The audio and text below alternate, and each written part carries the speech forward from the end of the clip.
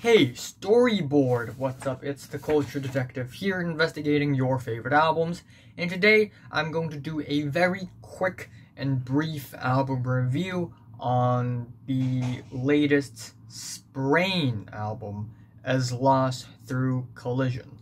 So, again, um, I didn't know about this band all that well.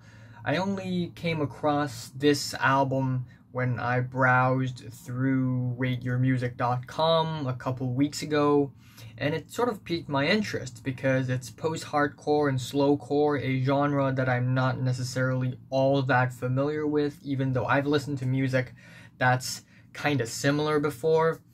So I went into this album with fresh ears, hoping to find something interesting.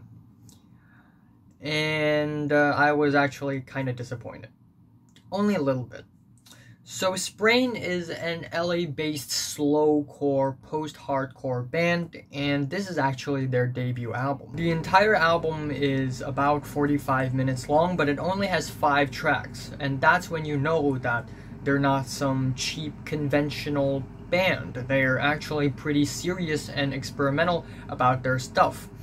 Um, however, uh, what my problem for the album is that there isn't much in terms of versatility. Now, of course, I'm not really expecting all that much from a band that just debuted, but even so, for all five of the tracks on the entire album, the chord progression is pretty similar, the tempo and the rhythm of the five tracks are pretty similar, and while the song structures are, are kind of different, the production is kind of similar and not in a good way as well. For some reason, the vocals are mixed very, very, very quietly. It's almost like they didn't even use a microphone.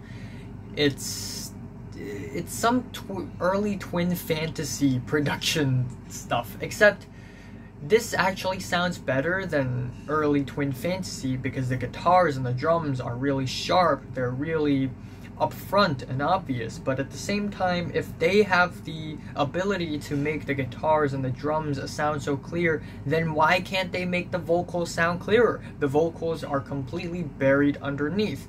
And again, it's not like I'm expecting the vocals to be leading the helm of the album or anything, but still, they're so quiet, it's almost like they're completely insignificant. Also, another problem I have with this album is that it's just not that special.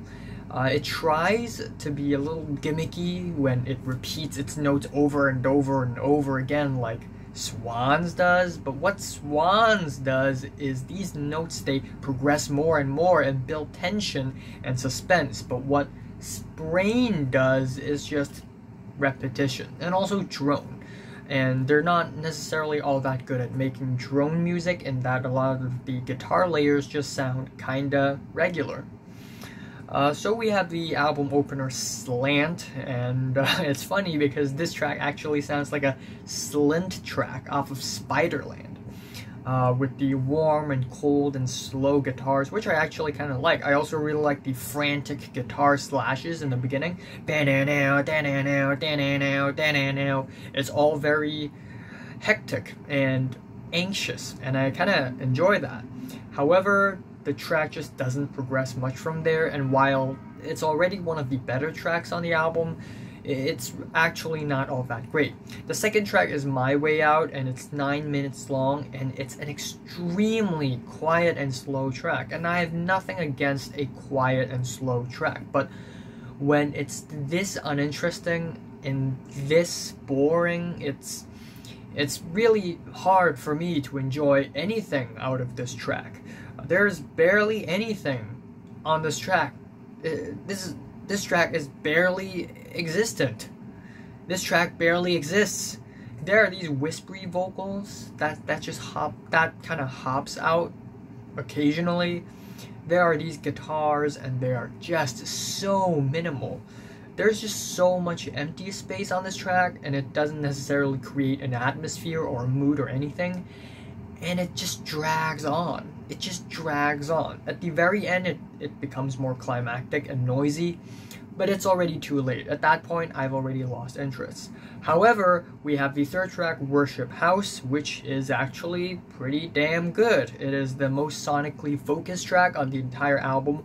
We have dense, thick walls of guitars and an 8-8 rhythm, which is very hectic and anxious and the whole track is very off-kiltered and migraine-inducing, and it also progresses quite a bit. It has ups and it has downs, and it is definitely a highlight on the album for me.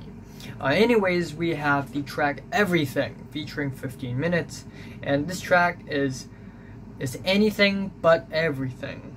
Um, that being said, though, um, this track is um, it's 15 minutes long, the first three minutes actually sound really, really good. It's a really simple, sad, downtrodden post-hardcore rock song that sounds really nice.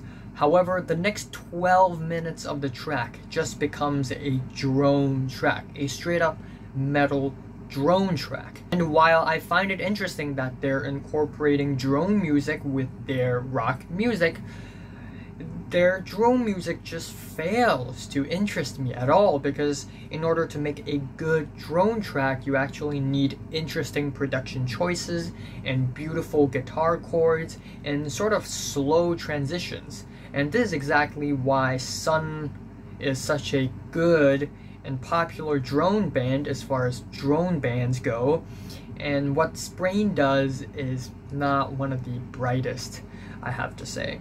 And the album ends off with Constant Hum, which is 10 minutes long, and it's a super duper slow rock song, but instead of uh, being as slow and as dragged as My Way Out, this one is a little bit more dynamic as it sounds more like instruments melting around your ears, which sounds actually quite interesting. However, given that the track is 10 minutes long, there is a point in the track where it begins to get boring and bland, but still, as far as slow songs go, as far as slow core go, this is one of the better ones I've heard.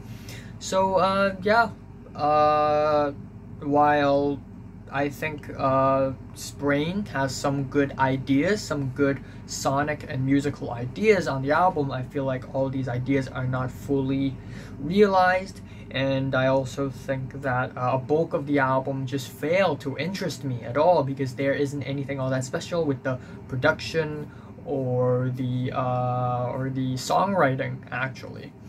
And uh, yeah, my favorite track here is Worship House. My least favorite is My Way Out. I'm giving Sprains as Lost Through Collision a strong 4 to a light 5 out of 10.